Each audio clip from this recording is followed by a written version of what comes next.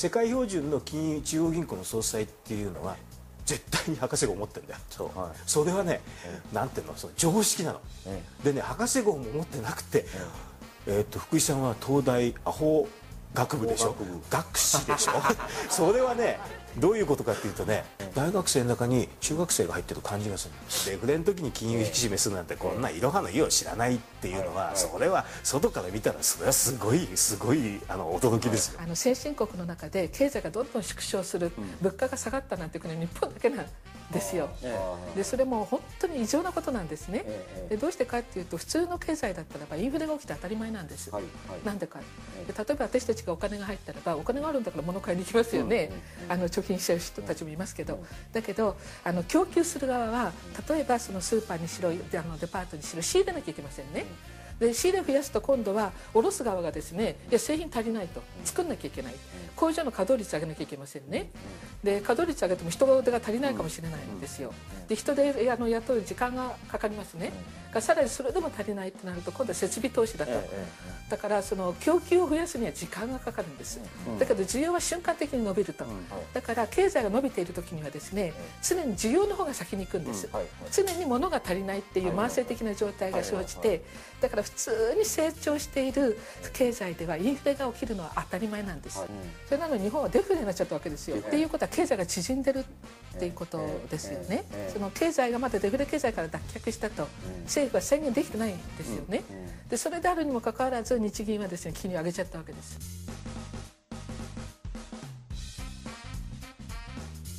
だってデフレって世の中のお金が少ないだからこれね高校生の教科書に書いてあるレベルの話。それで私のねあの娘もね高校生だったから聞いたことあるんだよ。そしたら答えられたのやっぱり、ええ。えでそのレベルの話なの。ええ。それは日本銀行は間違ったんだよ。で例えばですね、この住宅ローンの問題が起きたらねあのアメリカではドンって金利を下げたじゃないですか、えええ日本はバブルが破裂してから金利を上げちゃったりしてるんえですよ、えだからその、うん経済が悪くなってもバブルだったんだから、それ破裂するのは仕方がないよって言ってですね、あの放っておいたんですね、っていうよりもっとじゃんじゃん破裂しろみたいな、だけどそのたとえバブルであっても破裂したら傷を受けるわけですよ、だからそのできるだけバブルは破裂させない。そーっとしぼませるか、あるいは膨らんでる間に中身を埋めちゃえとかですね、そういう政策を取るのが世界の常識だったのに、日本ではあのバブルなんだから破裂させろ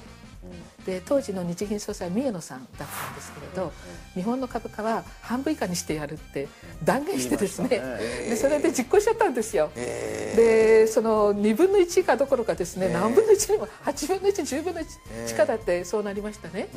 でだけどその日本では7割程度の人は持ち家ですから、あの自分たちの持っている資産価値がどんどん下がっていくっていうこと、日銀総裁が地価と株価をあの下げたらば一体どういう事態が起きるのかっていうことを分かってなかった。アメリカ人だったらバーナンキって全員知ってんだけどね、日本人でねだってね金中央銀行っつったら「え誰だっけ?」って「白川」って僕言ったらこの間「あれ副総裁じゃないの?」ってねマスコミの人から言われたことある。んだよそのレベルなの。だからね日本銀行に対する考え方と、あと日本銀行は責任が自分が負いたくないから、実はお外に出ないっていうのがあるね、だからあのアメリカだったらバーナンキは大統領より実は偉いの経済に関して言えば、大統領のブッシュなんてこんなほとんど名前出てこない。みんなバーナンキなんだよね。でも日本銀行だったらなんか自民党政府ばっかりでしょ、ええ。それ違うんだよ、でそれは日本だけの特色だね。日銀はあの日本経済の正常化正常化よりも金利の正常化とおっしゃってるわけですよ。が財務省は財政健全化って一生懸命おっしゃってますけれども国民生活の健全化っていうことはほとんどおっしゃってない。マンデル・フレミングっていう、マンデルってねマンデルってね人の名前なんだよ、フレミングっていう人の名前。マンデルはまだ生きてる。でフレミングは亡くなっちゃったんだけどね、その人がね1999年だと思ったけどノーベル経済学賞を取ったの、でねノーベル賞を取った。ってやつはねいろんなチェックがあるからね、まあ、まずね普通考えるとねノーベル賞を取った理論は、まあ、正しいと思っていいよ、そういうね下手にねそれが疑ったってねノーベル賞の研究会あの検討会があってねそれが何年もやってんだからね、それ普通の人の素人がね、浅はかに言ったってね、それがねそういう専門家がね何年も研究してこれは大丈夫っていうところでそれはね変動相場制の下では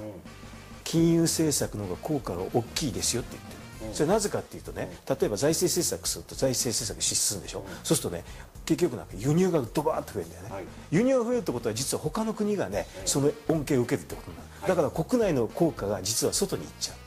で金融政策は実はそれがなくてね通貨全部違うから国内だけに閉じ込まる。という理論をちゃんと経営作った人でこれはもう正しいと言われてるんだけどそれから思うと変動相場制になると金融政策が実は効くんだよね。だから先進国はみんな景気対策の時に先に金融政策を最初考えるだからアメリカではバーナンキまずやれってまず出てそれで足んなかったら財政が出てくる。それが普通なんだよで日本はそれがないんだよ。だから非常に大変になっちゃったら金融政策で全部ができるってこともそれ嘘なわけ、だから金融政策やるんだけど財政政策もやるっていうことしかないんだよね、それでも全部対応できるかどうかよくわかんない。でも金融政策一生懸命やって財政政策も一生懸命やるっていうのはベストのベストの組み合わせなんだよね、で日本だと金融政策全部なしにして今の例えば景気対策だと財政政策。50金まではねこれは絶対にできないよ、要するに一生懸命頑張って2つで一生懸命やってなんとかなるかなんないかって話。あの日本の金融機関はあのサブプライムローンに関わる金融商品をですねあんまり持っていなかった先進国の中であのオイル依存度が最も低い国が日本なんです、つまり原油が上がってもですね、えー一番困らないっていうんでしょうかね、まあ資源がない国ではありますけれども、でそれなのに、なんで原油高騰とサブプライムローンの問題で、世界中の株価が下がった中で日本が最も下げた。それはその他の国々は景気あの経済が悪化したら大変だということで一生懸命対策打ってるのに日本は何にもしないって分かってるからです。で金利の正常化ゼロ金利は異常金利だっていうことで、あのまだそういう状態じゃないのに薬を取り上げる。実は私たち本当のことを知らない、例えば医療保険の財政危機は大変なもんだって思い込んでますね、えところが政府監修保険は本当は黒字です。積立金が足りないって言ってますけれども、公的年金は積立金が原則的にはいらないんです。共済年金っていう公務員の皆さんの年金の積立金が50兆あるのにそれはあの勘定に入れてないそれからあの企業にですねあの運用を代行させていたいわゆる代行っていう30兆があったんですね。それも入れてないんです。でそれでそれでもですね公務員への支払いとかそういうの入れないならまだわかるんですけれども年金支払い額は40兆って言ってですね公務員の皆さんへの年金支払いも勘定に入れてるんですよ。だから積立金に関しては公務員の分の積立金は除いてると付加方式であるにもかかわらず積立方式であるかのような説明をして積立金が足りないっていう。しかもその積立金自体も実際にあるよりはずっと少なく言う。これはもう国民を騙してるとしか言いようがないですね。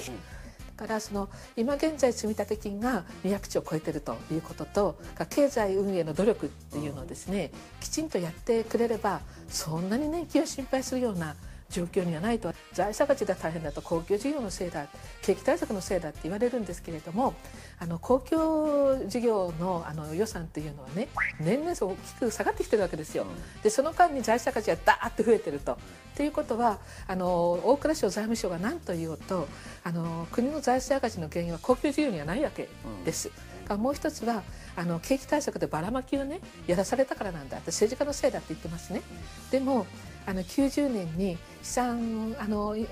バブルが破裂して以降ずっとですねいくら景気対策に使ってきたかっていうと景気対策のために発行した国債は60兆ぐらいしかないんですよ。でもその間300兆も400兆もあの国債残高がどんどんどんどん増えてきたわけですね。60兆しか使ってないのになんでって思うじゃないですか。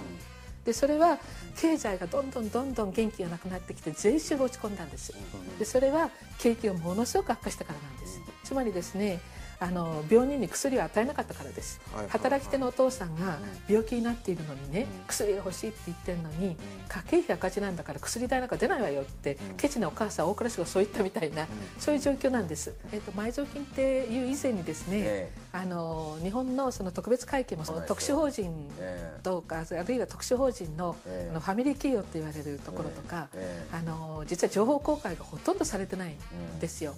だからその情報公開をきちんとやってくれればですね、えー日本はもっとお金があるっていうことは分かってくると思うんです、少なくとも40兆はある